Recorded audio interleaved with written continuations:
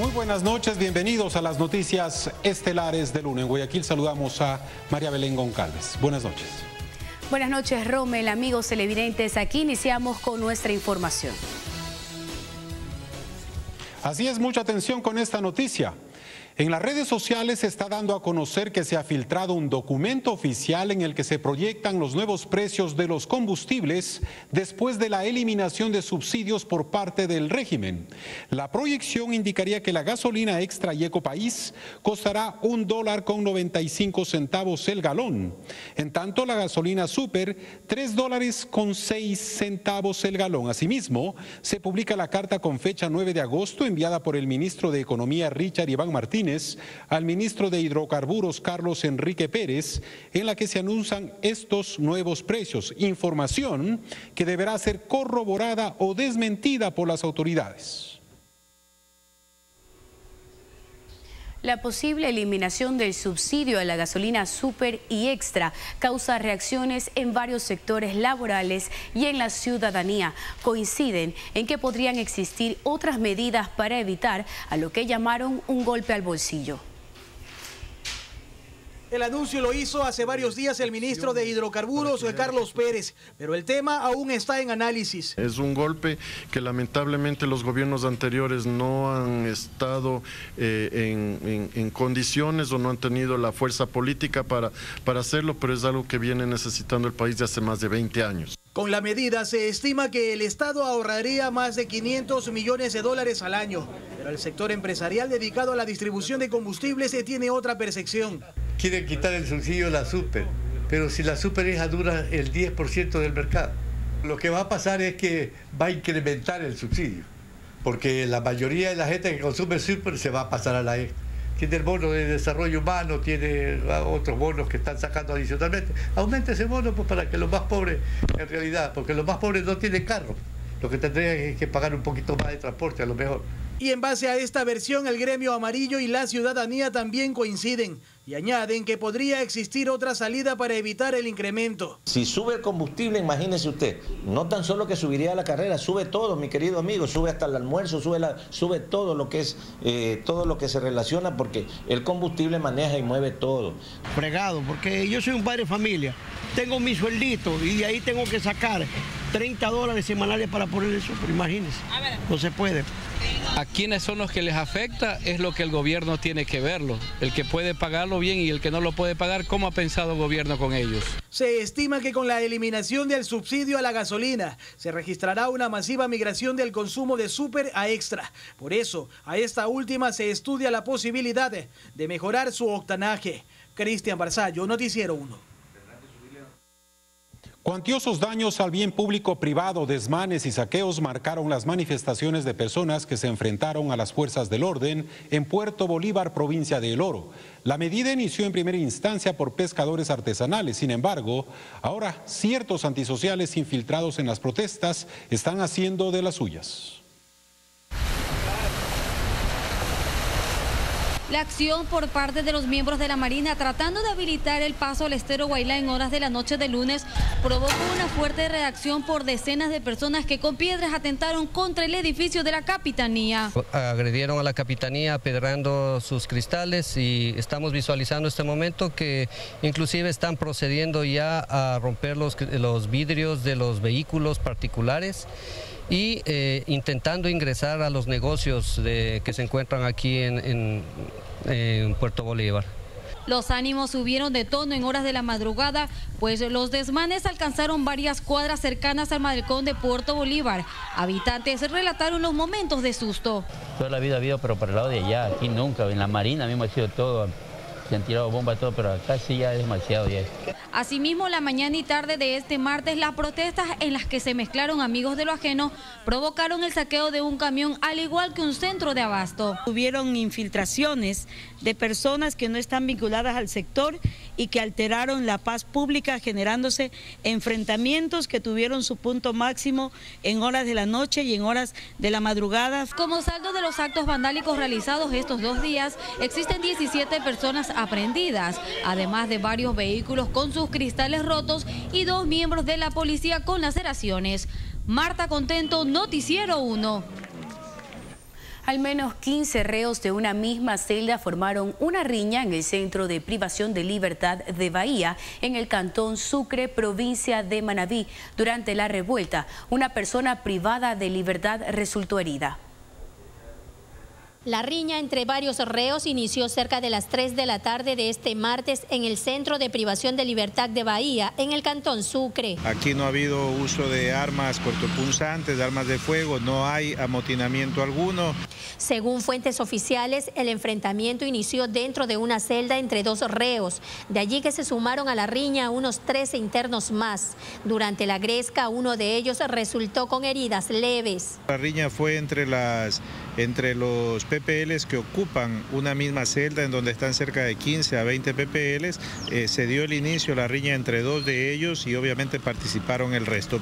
De forma inmediata, miembros de la policía y agentes penitenciarios controlaron la situación. Por ende, varios reos fueron trasladados a otras celdas para evitar que la situación se repita. Inmediatamente se reaccionó con las fuerzas del orden en el lugar, eh, se mantiene controlado, se ha hecho un conteo, no existen novedades, no se ha encontrado ningún tipo de arma de fuego ni arma cortopunzante. Los motivos por los que se habría originado el altercado aún se desconocen.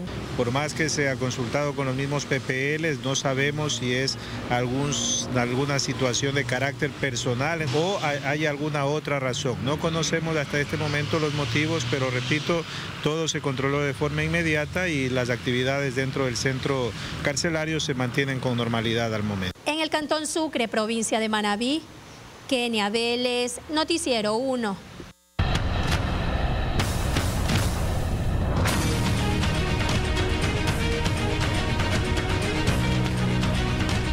24 fallecidos y 22 heridos son el resultado de un siniestro de tránsito ocurrido en la curva de la muerte en Papayacta. Conozca la ruta que realizó el autobús siniestrado. Hacía que tétrica la escena se convierta, más cadáveres regados por doquier y un autobús totalmente destruido. El autobús salió desde Neiva, Colombia, con aproximadamente 30 pasajeros y en cada población más viajeros iban subiendo a la unidad. El momento que se desengancha con este, con el vehículo Trooper en rodaje libre, avanza hasta el kilómetro 8 y medio y se produce el volcamiento, luego el estrellamiento contra los inmuebles. Hasta que pista comienza a perder antes del kilómetro 8 y baja sin control. Finalmente, aquí en Cachauco, el Carmen, en el kilómetro 8 y medio contra las viviendas se dio. Para posteriormente posteriormente volcar y arrastrarse unos 50 metros más.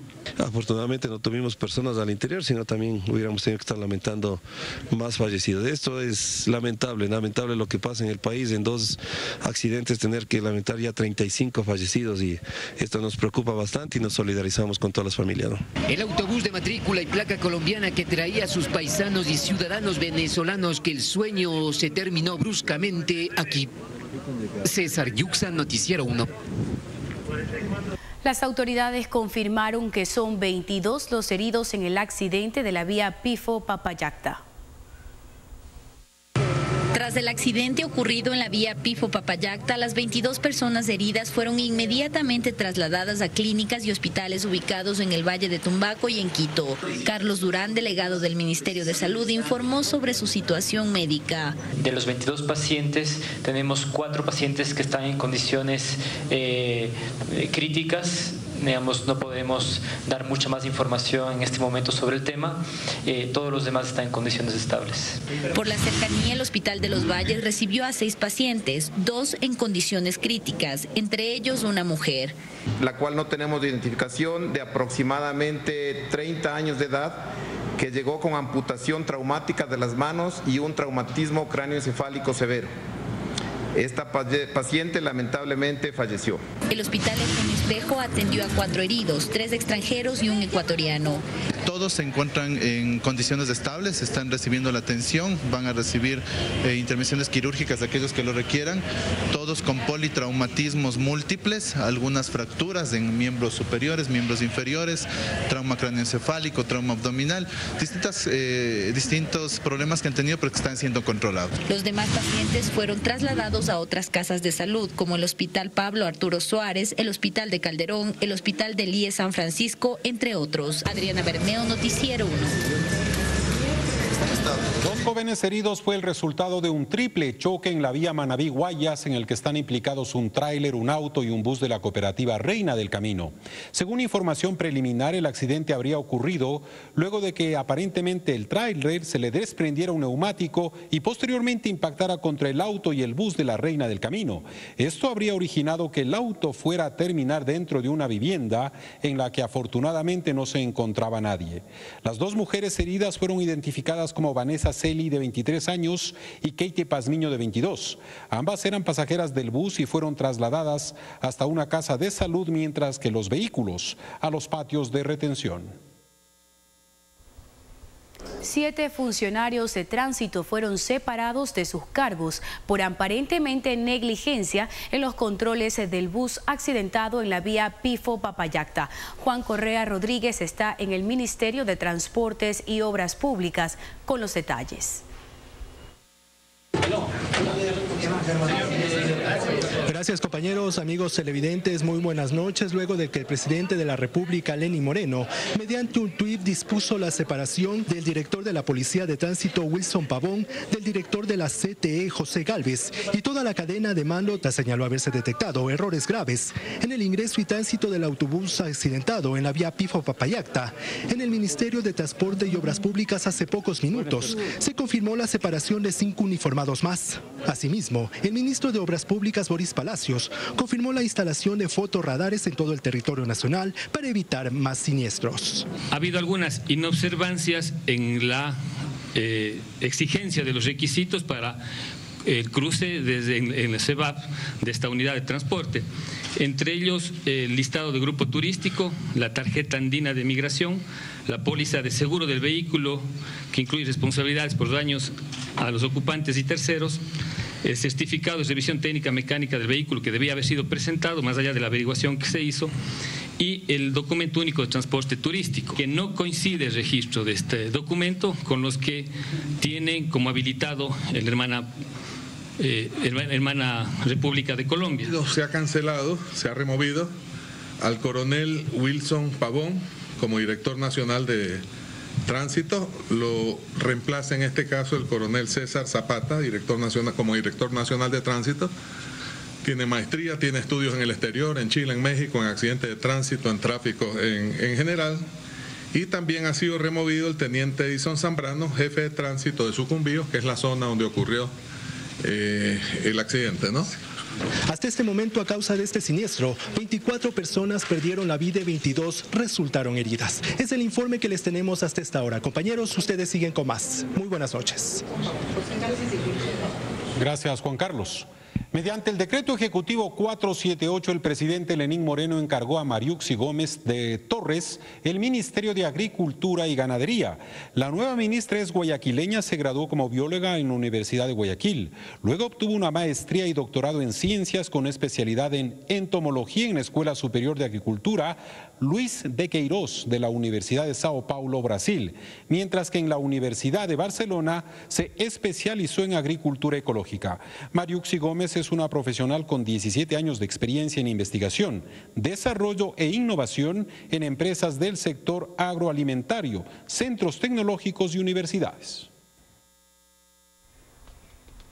La Asamblea Nacional revisará el trámite para dar paso a los casos de amnistía. Así lo anunció la presidenta del Legislativo, Elizabeth Cabezas, en el marco de la evaluación de los últimos cuatro meses de trabajo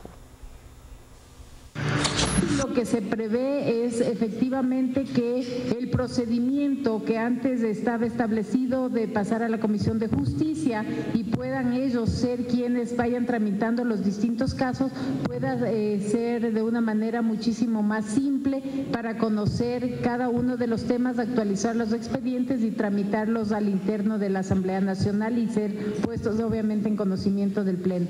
En todo caso, nosotros el momento en que tengamos las observaciones de parte del porque este momento es una propuesta de parte de quienes han trabajado en este tema. Nosotros les daríamos conocer para precisar justamente cuál sería ese procedimiento que ya esté aprobado por el órgano de la legislatura. Abogados de siete sentenciados por el caso González y otros presentaron una acción en la Fiscalía General del Estado en contra de alrededor de 27 exfuncionarios que participaron en esta causa legal. Entre los denunciados se encuentran el expresidente Rafael Correa, el exfiscal general eh, Galo Chiriboga, jueces, peritos y fiscales, según Pedro Granja, abogado patrocinador de la denuncia, están por fraude procesal, persecución, tráfico de influencias, prevaricato, perjurio, falso testimonio y tortura contra los sentenciados. Silvia Mogro, madre del capitán Douglas y sentenciado a 16 años de cárcel, dijo que su hijo fue procesado dos veces por la misma causa, lo cual es ilegal.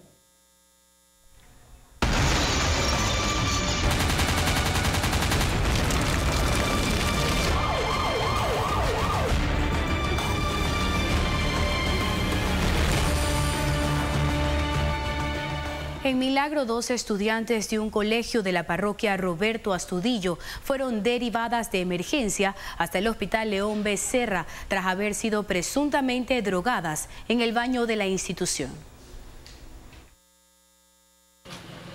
Ambas víctimas tienen 13 años de edad y tuvieron que ser ingresadas de emergencia ante su complicado estado de salud. Una de ellas apenas podía ponerse en pie, mientras que la otra no reaccionaba. Sus familiares afirman que fueron drogadas en el baño del plantel. Mi hija lo único que dice que ella entraba al baño. En lo que entra al baño y ella en el baño han olido las dos niñas igual. Todavía eso se presume que puede ser droga, porque de así por así no va, no va, no va a oler algo y pase, se van a desmayar las dos igual. Las han drogado, las han drogado, las han metido al baño y las han drogado. ¿Con qué finalidad? Para violarlas. Porque eso, y a esos chicos hay que darle una pena máxima, porque igual nosotros como padres tenemos que saber hacer responsables a nuestros hijos y enseñarles valores que eso no deben de hacer. Y son los mismos estudiantes. Si tiene la niña más de una hora desmayada, ¿qué se puede pensar? Que porque no desayunado, eso es tontería, eso es tontería. Eso son dos niñas, eso significa que no quieren ver más allá. Las estudiantes pertenecen a la unidad educativa Guillermo.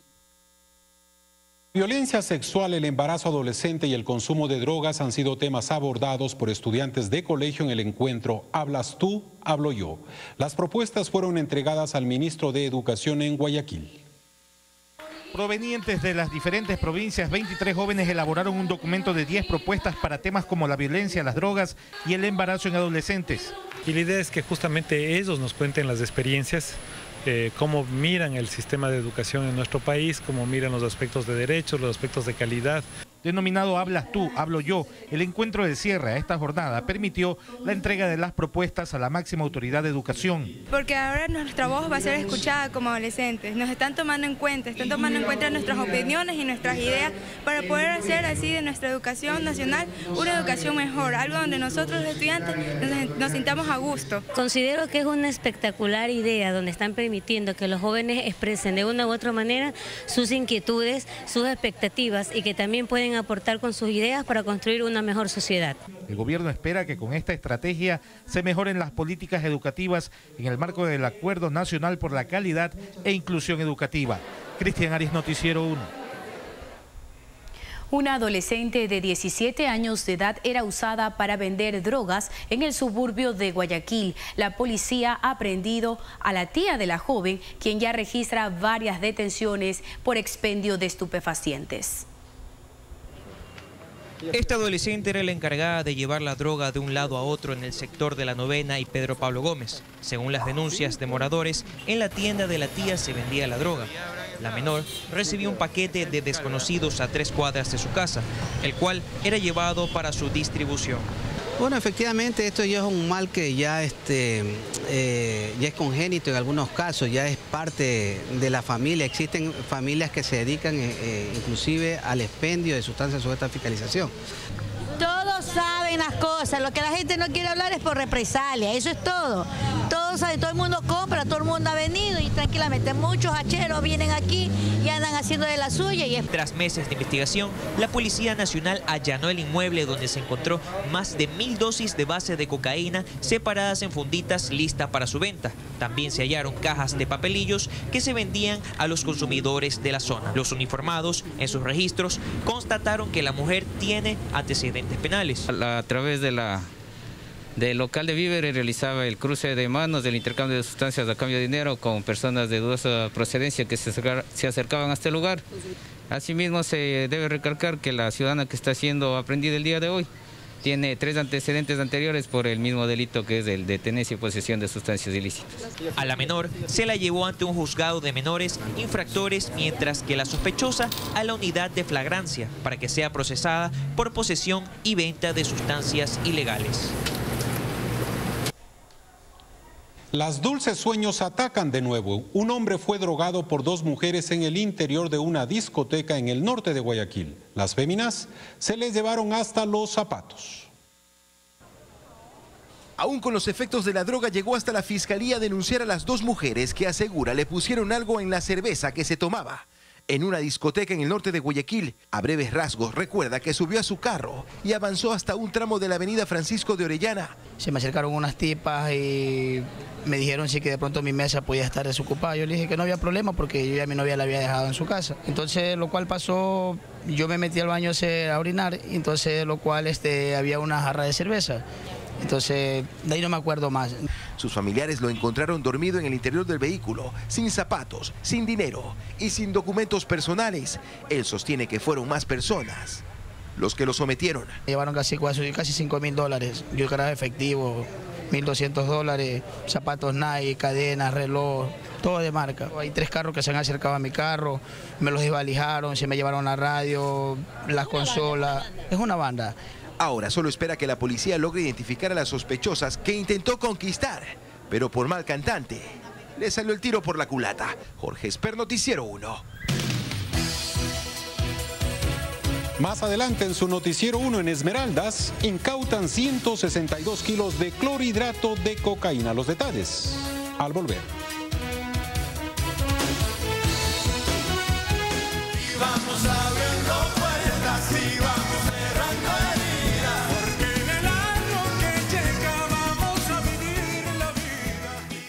Mañana.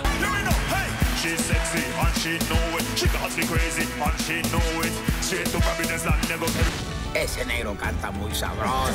Muchas gracias, maestro. A otro nivel. A las 7 de la noche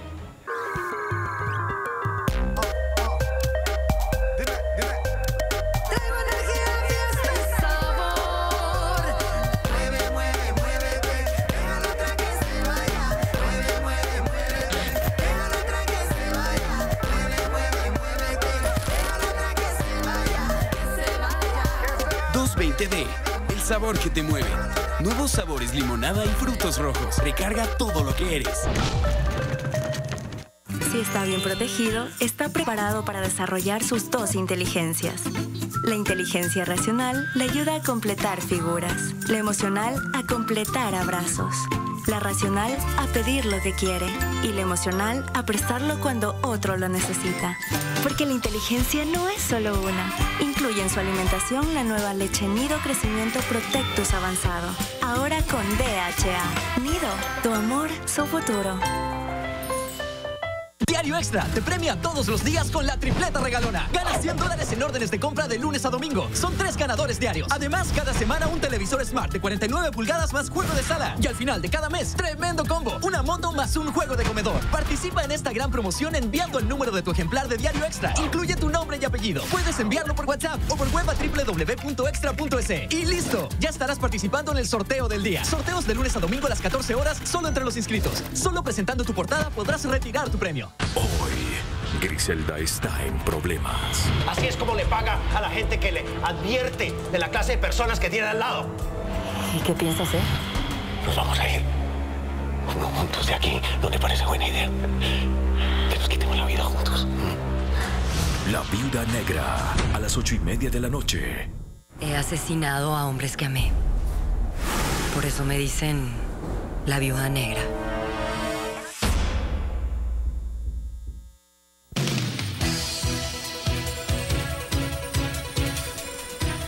El expresidente de la República, Rafael Correa, compareció ante la Asamblea Nacional vía Skype para responder algunas preguntas de los miembros de la comisión que investiga el caso Gavela. José Ignacio Arevalo nos tiene un informe.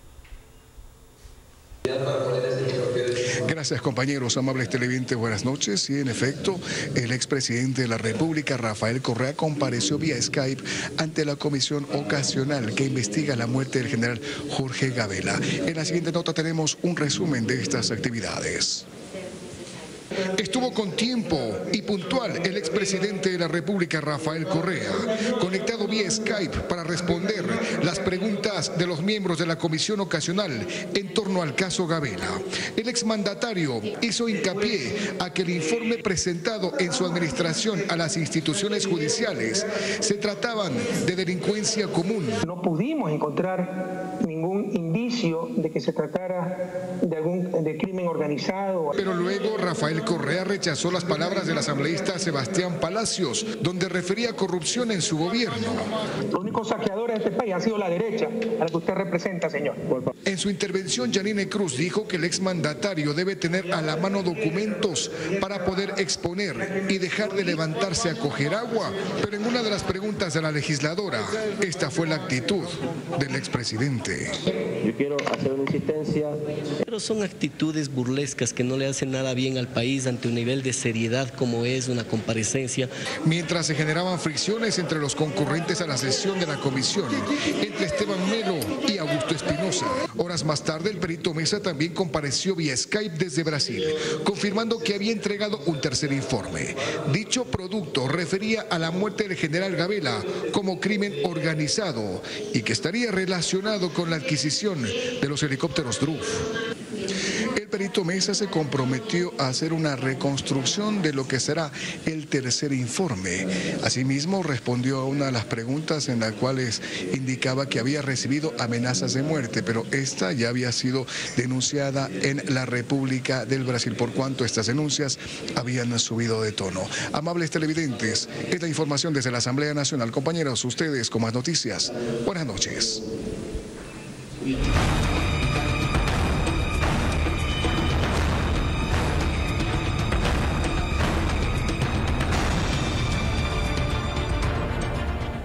162 kilos de clorhidrato de cocaína incautados y un detenido son el resultado del operativo Transportación 2 en Esmeraldas.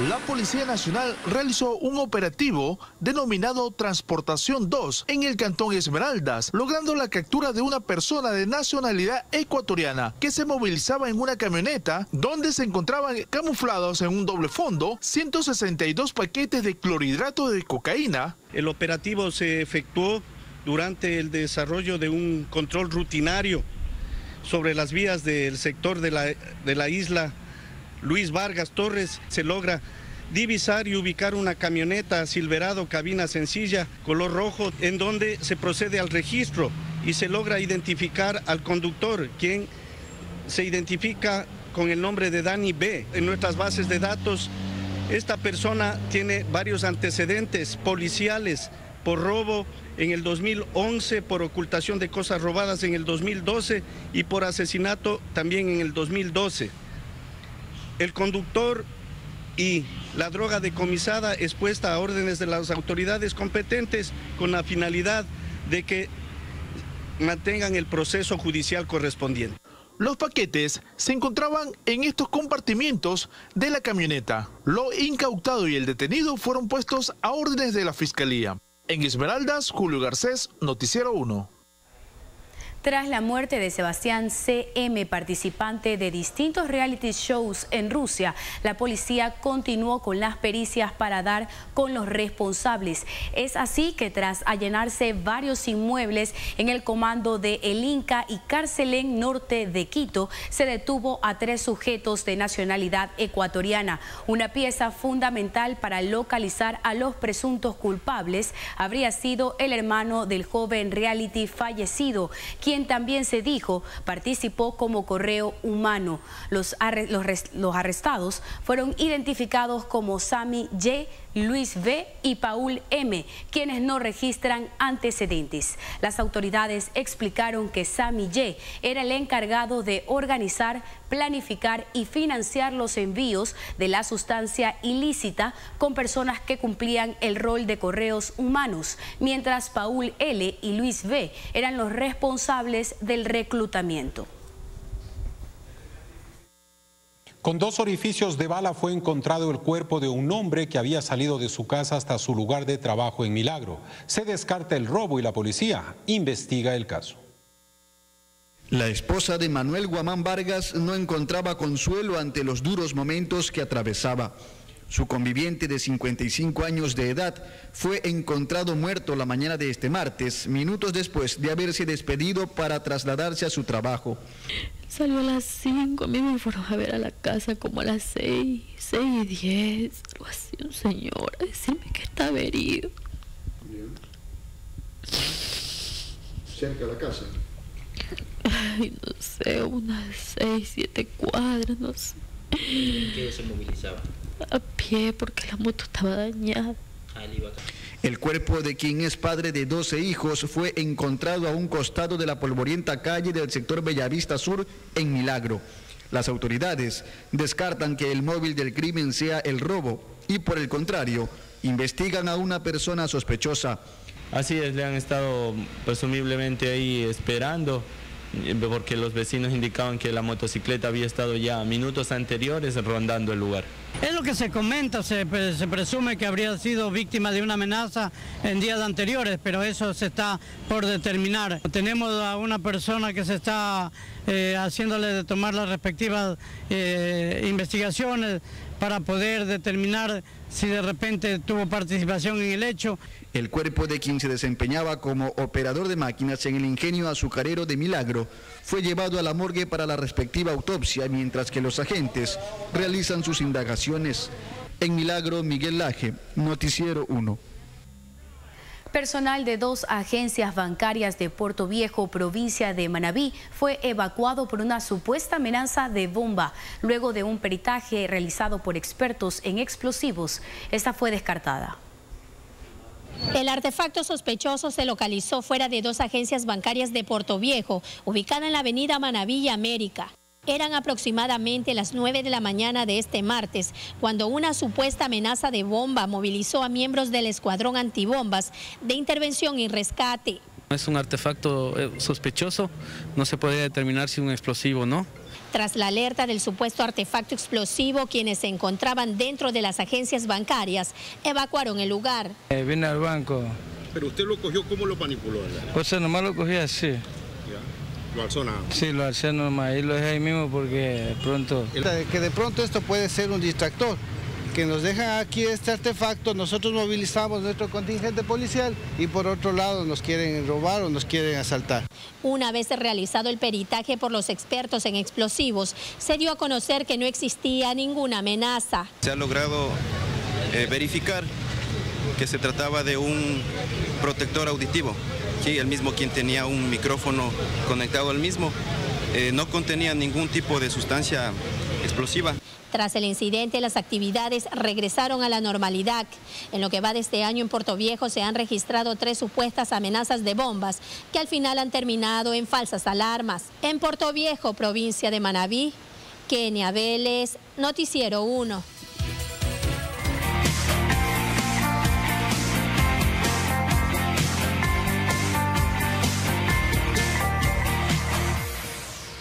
La cebolla se debe cortar en juliana. Y yo la frío en cuadritos. A la menestra agregamos hierbas bien picadas. La mía va con la rama completa. Cuando reviente, retiramos el arroz. Yo me espero el cocolón. En la cocina como en la vida estás para crear. Rehagamos las recetas, porque tu comida tiene el sabor que pones tú. Aceite el cocinero. Mañana.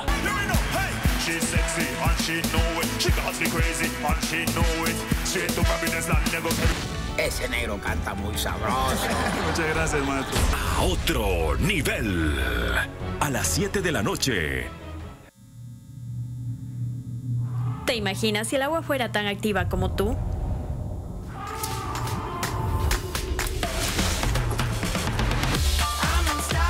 Para ti, G-Active de Gatorade. Agua con dos sabores ligeros, electrolitos y vitaminas. Para ayudarte a reponer lo que pierdes al estar activo y sudar. G-Active de Gatorade. Agua con electrolitos y vitaminas para impulsar tu vida activa. Hola, hijo. Oye, la crema dental se vuelve azul. Estás usando la Colgate Total 12 Salud Visible, ¿no?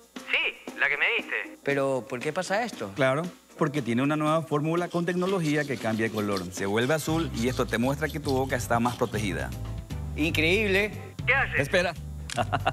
en mi chat van a amar esa sonrisa azul. Nueva Colgate Total 12 Salud Visible. Salud para toda tu boca. Esta noche en carne propia.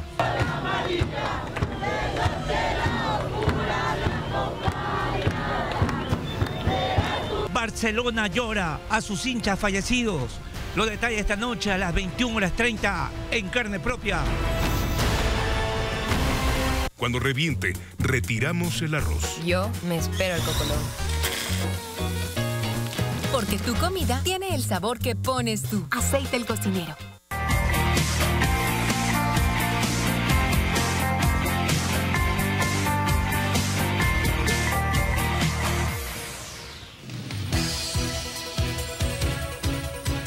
Los comerciantes de cangrejos piden se les den un día más para vender sus productos previo a la veda que inicia el 15 de agosto. Aseguran que hay vendedores informales que no respetan la prohibición.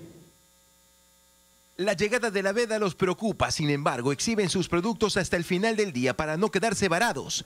Son los comerciantes de cangrejos en el mercado de la Caraguay quienes piden un día más a las autoridades para vender lo que les queda. Además de controlar la venta informal, pues no todos respetan la prohibición. La gente no quiere respetar por el salado, se van a trabajar por el salado y eso ha sido todos los años, casi nunca han tenido veda. La veda más se ha respetado por el río Guaya. Se debería controlar aquí y también a los que compran en la sierra. Hoy día ya no quieren cerrar las puertas. ¿Y qué hacemos con el cangrejo que viene la gente del pueblo mañana? Por su parte, los propietarios de restaurantes ya barajan opciones para sustituir al cangrejo, al menos por el mes que dura la veda, la jaiba y el cangrejo azul son las más frecuentes. Es más caro, pero igual uno se sacrifica un poquito más y lo hace llegar acá. Sí, más sabroso, más delicioso y es mejor y tiene más carne, más gordo. Y también está el ceviche 7 macho. ¿Cuál es ese? Ceviche con todos los mariscos. Esta es la segunda veda que se da en el año, que va desde el 15 de agosto hasta el 15 de septiembre, con el fin de evitar la captura del crustáceo en su etapa de reproducción. Hay quienes recomiendan no consumirlo para evitar enfermedades estomacales, mientras la ley sanciona con multa de hasta 10 salarios básicos unificados a quienes no cumplan la disposición. Jorge Esper, Noticiero 1.